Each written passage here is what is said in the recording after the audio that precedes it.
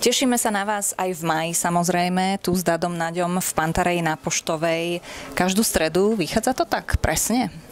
A bude to maj lásky čas, alebo ani nie? Nie. Dobre, tak spust. Mm. Prvá streda bude 7. Prvá streda je 7. Uh, Lubomír Feldek a jeho zbierka fejtónov, ktorá sa volá Porcelánový pavilón.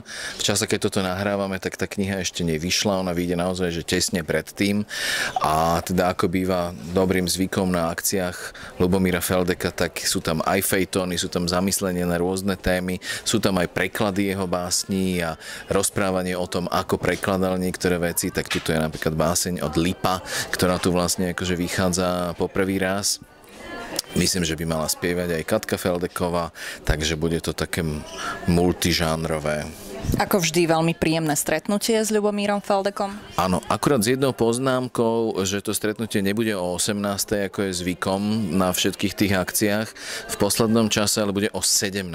Takže ak nás teraz niekto počúva, chcel by prísť nie o 18. Ľubomír Feldek je o 17. Ale všet... 7. o 17.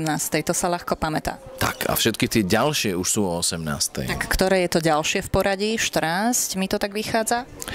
No a celý ten maj je vlastne vlastne už, alebo tie ďalšie programy sú v takom duchu literatúry faktu, alebo takých zaujímavých rôznych kníh o rôznych fenoménoch. Viera Obuchová, Príbehy z dejín Bratislavy. To je kniha zo série uh, kníh venovaných Bratislave, jej dejinám, rôznym zaujímavostiam, ktorých je veľké množstvo.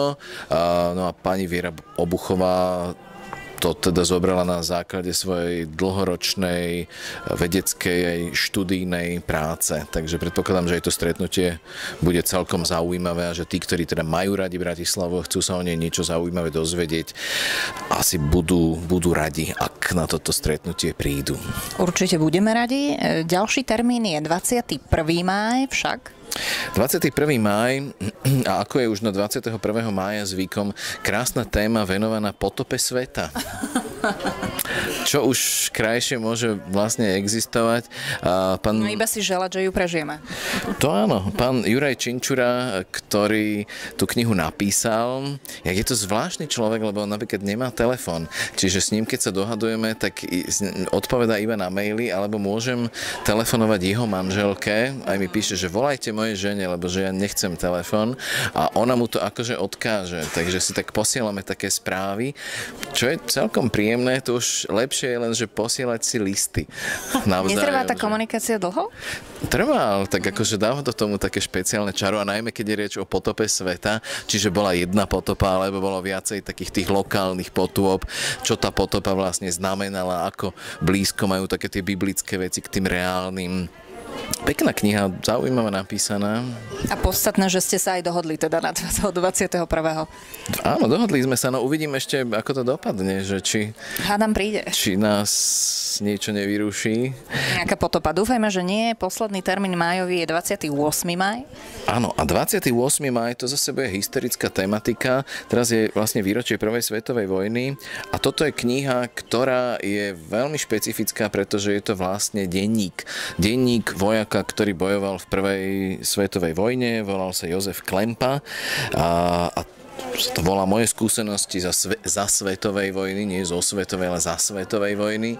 A príde, teda on nie, lebo on už je teda samozrejme dávno mŕtvý, tento pán Klempa, ale príde mladý historik Michal Kšiňan, ktorý porozpráva aj teda o tom, čo sa tam píše, ako sa tam, e, ako teda on vnímal légie, ako vnímal život vojakov, ako vôbec vlastne vnímal celý ten konflikt. E, myslím, že to je tiež aj zaujímavé čítanie čítanie veľmi autentické, aj teda e, rozprávanie Michala Kšiňana bude tiež celkom dobré. Michal Kšiňan je inak ten človek, ktorý vydal takú nádhernú veľkú knižku o Štefánikovi. Áno, teraz som ju tu videla na... Hej, hej, hej. Dobre, tak e, tešíme sa na vás. Ak budete mať cestu okolo Poštovej, vždy v stredu, v maji, tak my tu budeme a budeme radi, ak sa zastavíte. Nie je tá kamera taká trochu roztrasená už?